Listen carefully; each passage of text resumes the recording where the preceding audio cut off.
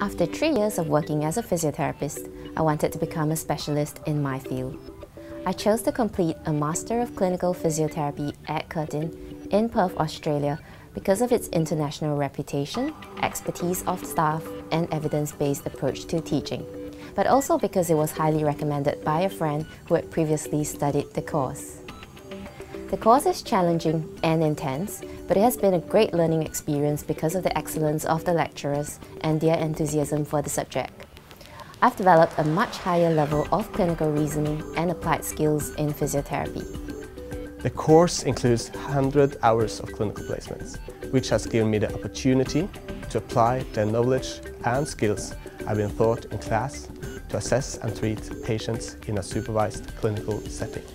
I also have access to great facilities, which include two physiotherapy clinics, one on campus and one at a local hospital, a motion analysis lab, a rehabilitation lab, as well as a dedicated lab for postgrad students.